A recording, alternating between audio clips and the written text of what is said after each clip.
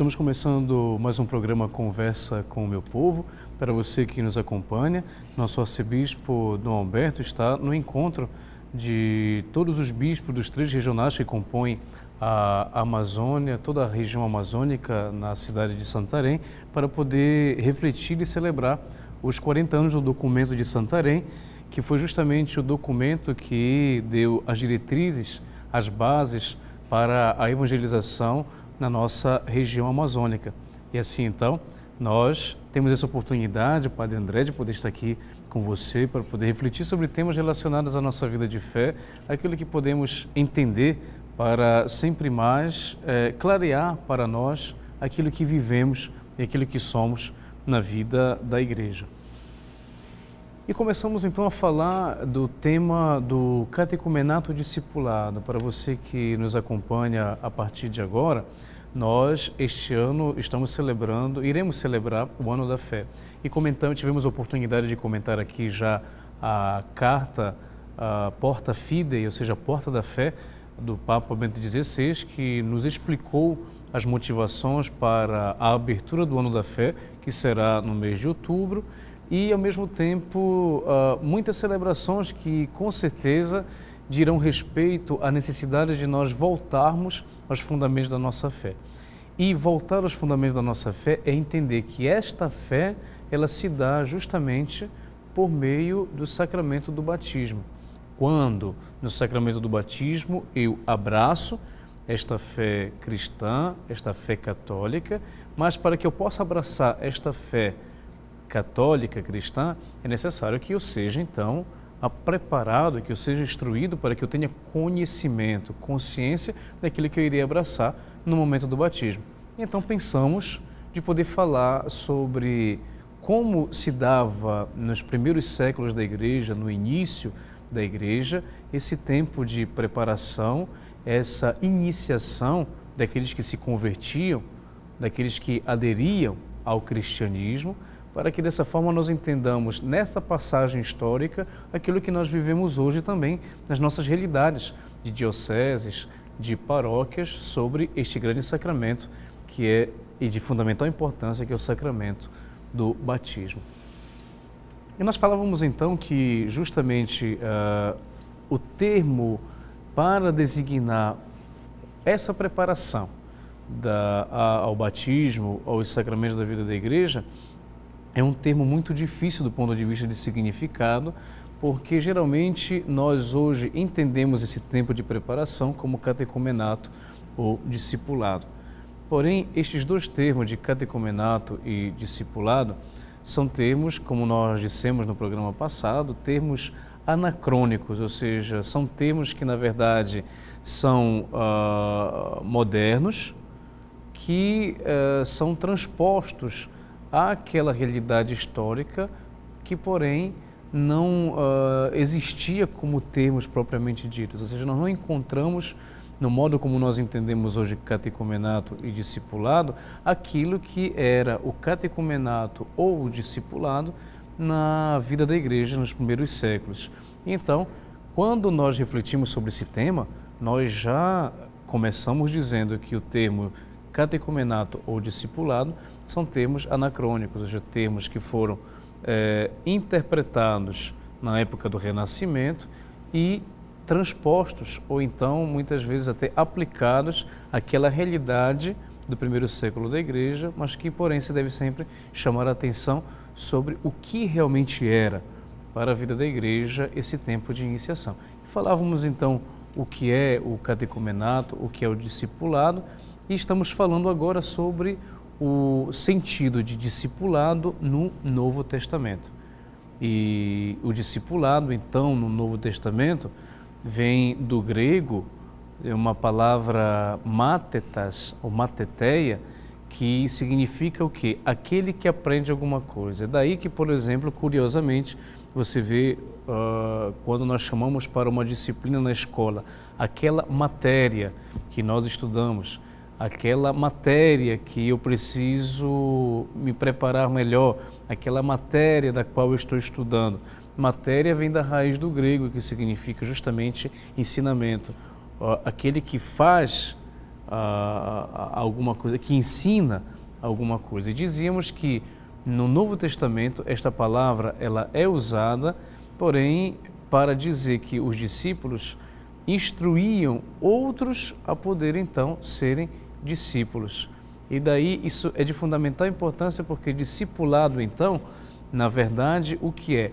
É uma realidade que é já preparada justamente pelo tempo que nós chamamos, ou poderíamos chamar, de catecumenato. Se o discipulado é dessa forma, ou seja, se o discipulado é uh, fazer, é, é, é o ensinar ou fazer discípulos, é claro que para isso, então, eu preciso já ter uma preparação prévia para que eu possa ter a capacidade de fazer isso. E daí, então, vem o termo é, designado uh, ali de catecumenato. E assim, então, o catecumenato justamente uh, é essa preparação, poderíamos assim dizer, da iniciação cristã verdadeira e própria.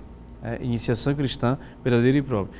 É, desculpem, o, o catecumenato o catecumenato é, é, entendido como um tempo de preparação ao discipulado.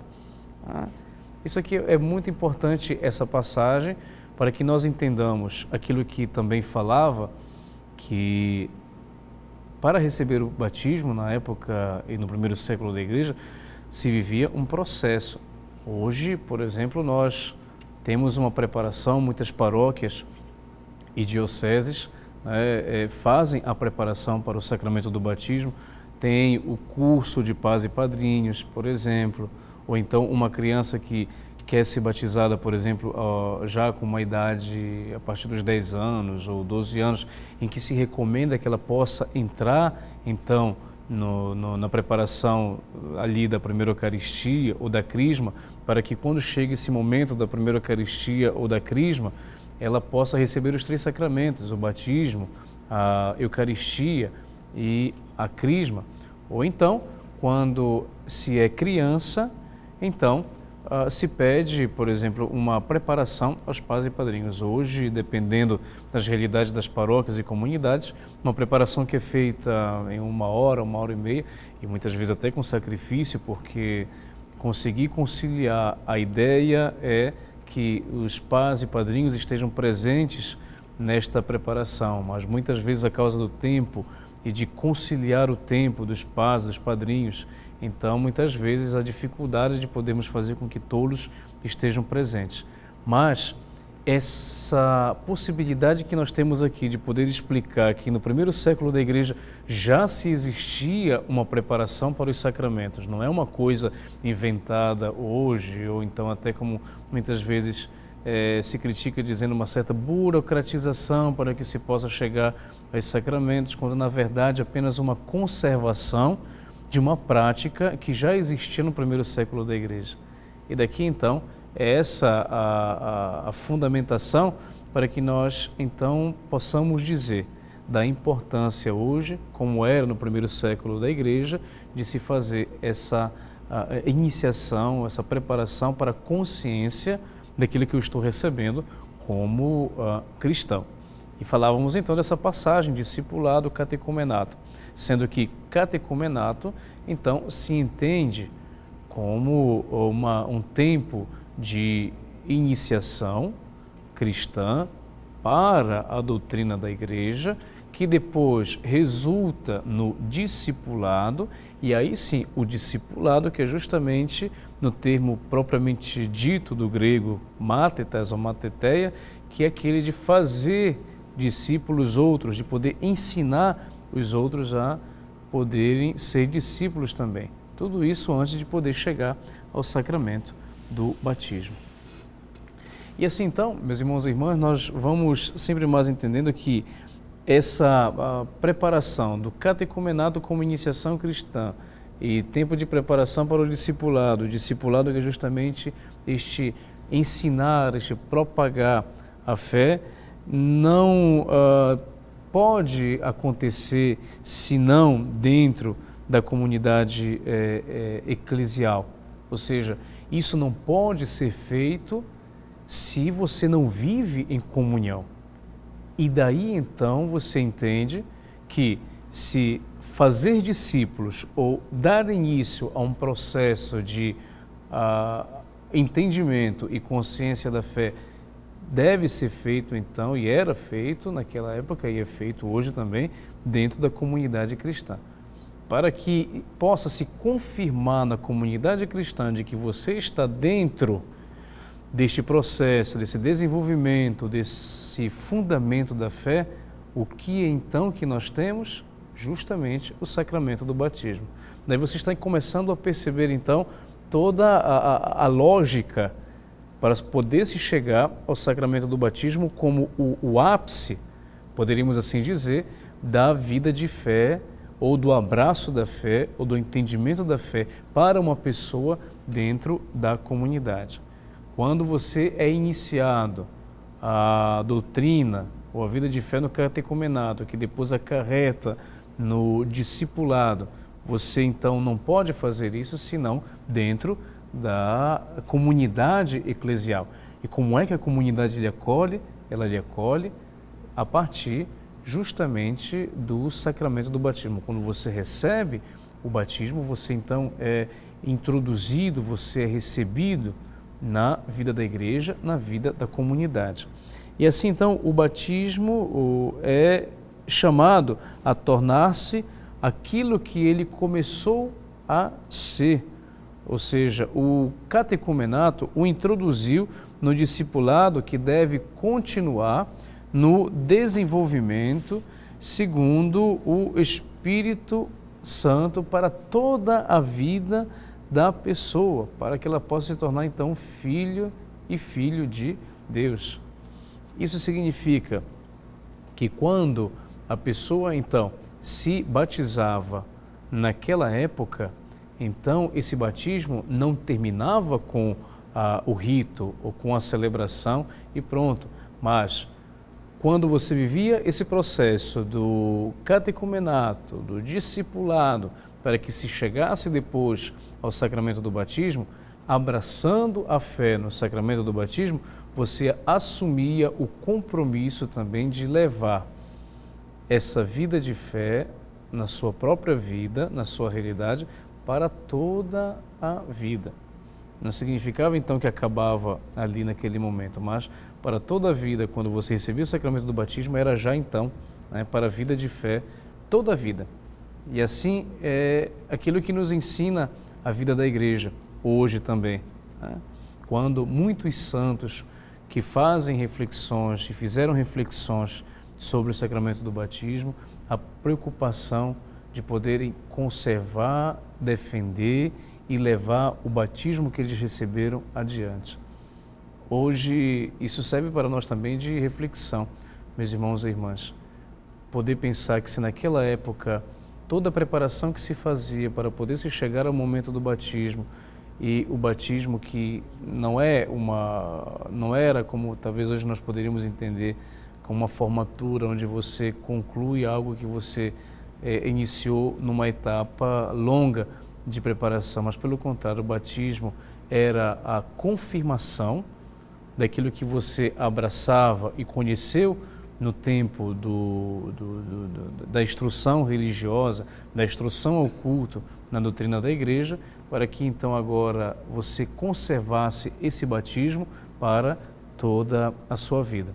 E assim então, nós iremos dar continuidade a essa reflexão sobre o catecumenato, o discipulado para poder se chegar ao batismo e assim nos entender sempre mais como é que nós estamos vivendo o nosso batismo hoje, na nossa vida de fé, como resposta ao amor que Deus tem por cada um de nós. Voltaremos com o nosso programa Conversa com o Meu Povo.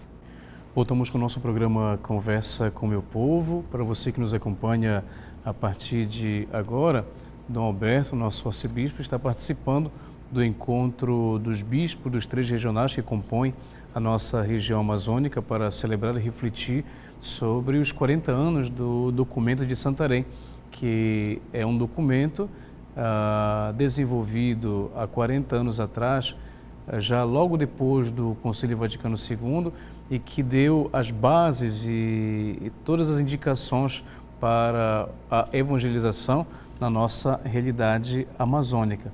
E assim então, juntamente com Dom Teodoro, nosso arcebispo, está participando deste encontro e Padre André tem essa alegria, portanto, de estar aqui com você para refletir sobre temas relacionados à nossa vida de fé.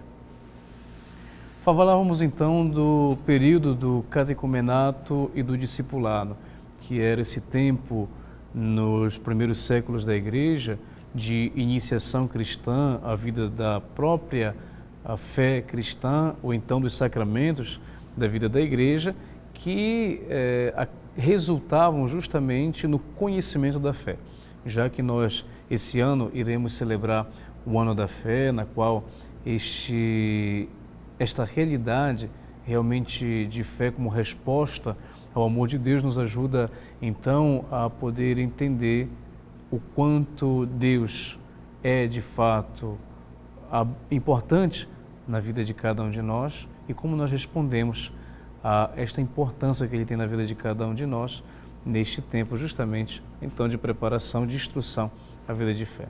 Falávamos do discipulado, do catecumenato do discipulado, catecumenato que é justamente essa preparação, essa iniciação é, que resulta no discipulado, no discipulado que resulta no compromisso de você poder formar outros, de poder instruir outros para também uh, serem é, discípulos ou aderirem à fé cristã. E falamos então aqui agora e queremos falar do catecumenato do discipulado no desenvolvimento histórico do segundo século. Falávamos que eh, o catecumenato sendo essa preparação para uh, o discipulado na iniciação cristã na vida da igreja, como é que no segundo século agora nós podemos entender esse discipulado, este catecumenato. E dessa forma, então, por catecumenato se entende é, justamente o processo formativo à vida da igreja no segundo século. Então, se no primeiro século ah, nós temos apenas uma espécie de instrução religiosa, uma instrução de culto exercida, então já no segundo século nós vamos começando já a perceber o desenvolvimento da estrutura deste termo como uma instrução, uma iniciação à forma de vida na igreja em referência à Igreja Antiga e à recepção dos três sacramentos da iniciação cristã em vista do discipulado de Cristo. A nível, portanto, de conceito, a catecumenato ele vem do verbo catequem do grego, que significa justamente no ativo, no, no, na forma ativa instruir e na forma passiva escutar. Né? Temos aqui essa, essa curiosidade de, de, de, de, de definição.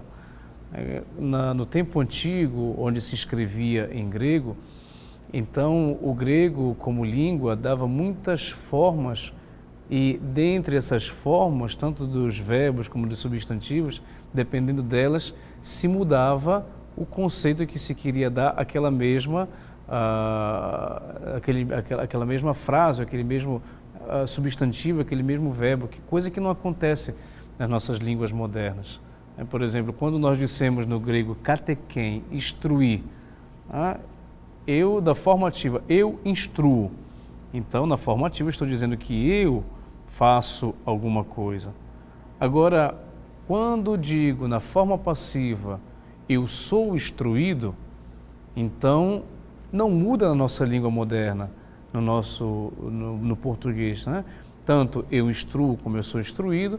A única coisa que muda é que eu passo do ativo, justamente é eu que faço a ação, do passivo agora eu recebo a ação.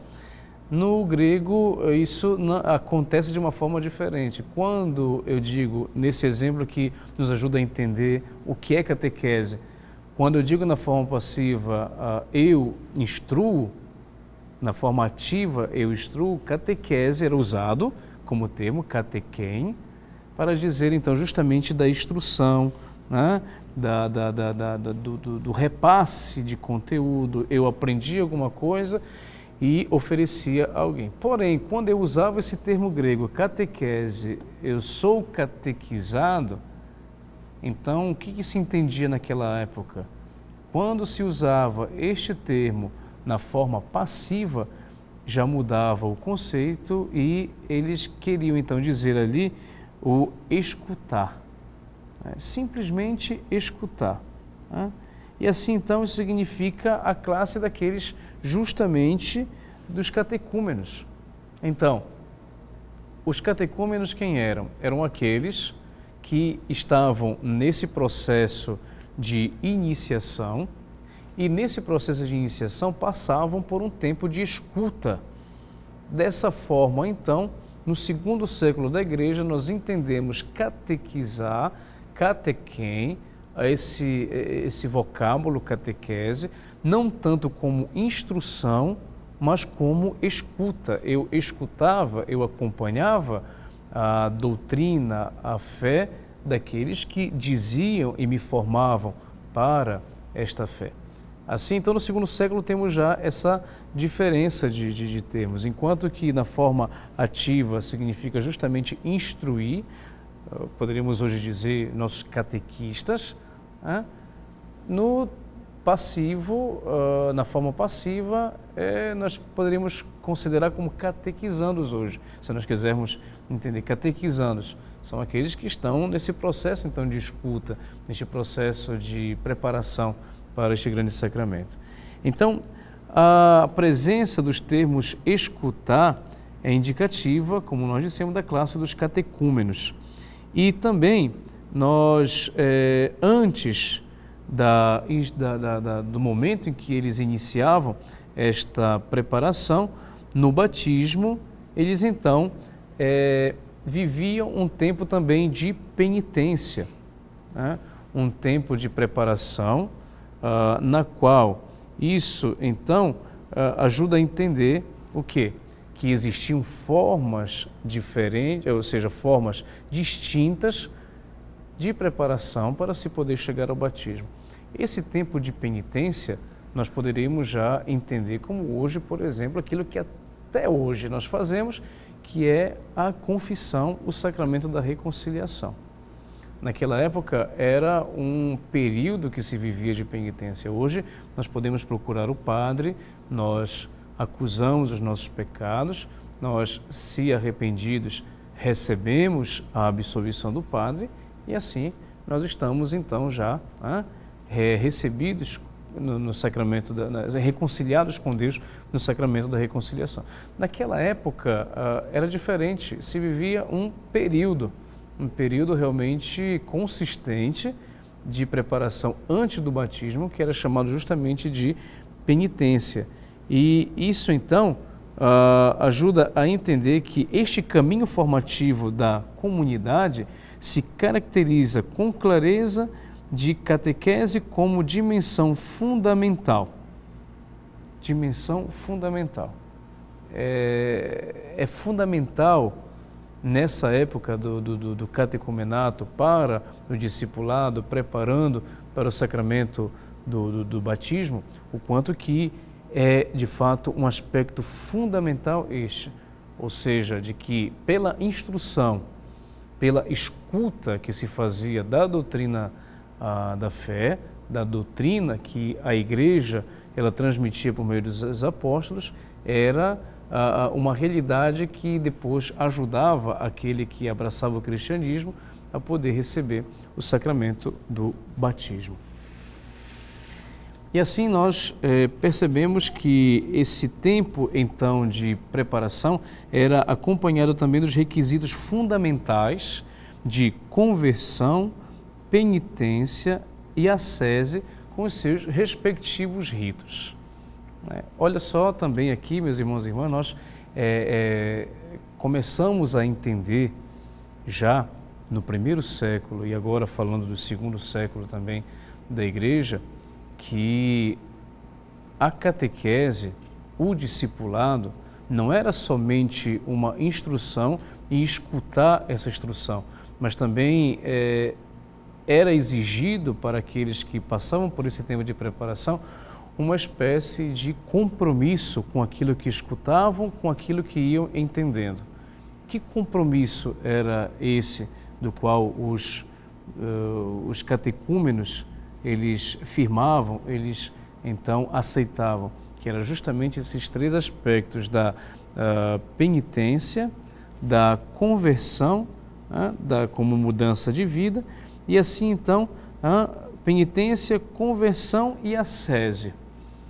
Ah, que palavrinhas são essas? Né? Penitência, todos nós sabemos o que é. Quando eu é, me proponho na minha vida a fazer determinada coisa como um propósito que me ajude a entender que eu preciso me preparar para a, alguma coisa. Nesse caso, a penitência me ajuda a entender na minha mente, no meu corpo, no meu coração, na minha vida, que eu preciso então corresponder àquele perdão que eu recebi pelo arrependimento dos meus pecados. Isso então, na, na, na linguagem moderna, é a penitência. Há justamente conversão. Conversão é mudança, então significa que ao mesmo tempo que eu faço penitência, mas eu também o que me converto, eu, eu preciso mudar de vida. Eu não sou diferente, eu não sou igual, por exemplo, quando uh, inicio a missa, saio da missa, deveria ser diferente com aquilo que eu escutei da palavra de Deus, com aquilo que eu acabei de celebrar na Eucaristia. Isso seria já um processo de conversão uh, mudar alguma coisa na minha vida a causa ou provocada pela palavra de Deus que eu escutei ou pela própria fé que eu vivo. Mas tudo isso, é claro que não vem da noite para o dia. Não faço penitência, não me proponho a fazer penitência, ou não me proponho a me converter ou mudar de vida, se eu não faço o quê? Um exercício. Né? Isso que talvez muitas pessoas, muitos de nós, não conseguimos muito entender. Esse exercício é justamente chamado na vida da igreja de ascese. Ascese vem do grego askesis, que significa exercício. Eu sempre digo isso quando faço uma palestra, quando hum, falo sobre isso, que a ascese, sendo então uh, exercício, é para nos ajudar a entender a mesma coisa como, por exemplo, uh, quando crianças, nós, para podermos é, chegar a saber ler e, e escrever, foi necessário que muitos exercícios feitos, desde ah, nós conhecermos as letras e agora começarmos a cobrir as letras, os numerais e repetindo continuamente esses numerais, essas vogais, depois repetindo não só com a escrita, mas também com a fala. Isso, ao longo dos anos, foi se desenvolvendo para que nós hoje é, saibamos aquilo que sabemos. A mesma coisa, meus irmãos e irmãs, acontece também na nossa vida espiritual.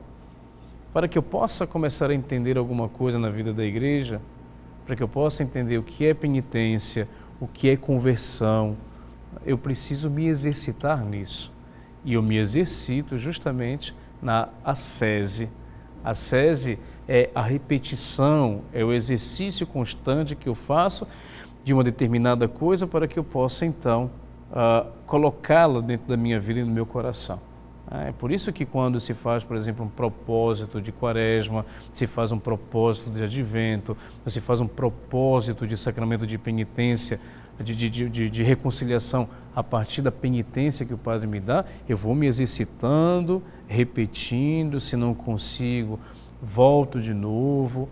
Ou seja, isso me ajuda a entender, meus irmãos e irmãs, que se nós não conseguimos uma coisa, não significa que devemos parar, mas continuar, porque justamente a vida, para que se chegue a um conhecimento pleno das coisas, é necessário uma sese. E assim estamos dando continuidade a essa reflexão sobre o que é catecumenato, o discipulado, essa preparação para a vida de fé na igreja neste ano que nós estamos celebrando, iremos celebrar o ano da fé, nossos bispos que estão reunidos em Santarém para poder refletir sobre o documento de Santarém, que foi as diretrizes que nos ajudam até hoje a poder viver a evangelização na nossa realidade amazônica, essa evangelização que justamente é resultado da nossa fé, daquilo que nós podemos depois expressar na vida da igreja. Que esta bênção possa ir a todos aqueles que precisam, possa chegar até você que está na sua casa e também na intenção dos seus familiares, amigos